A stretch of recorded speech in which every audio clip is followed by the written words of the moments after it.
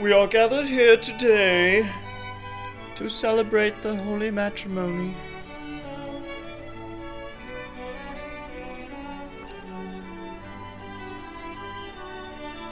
Of this bear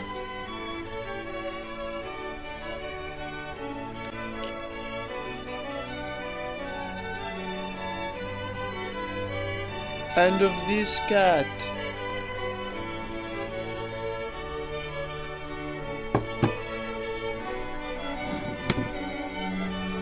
You may kiss the bride.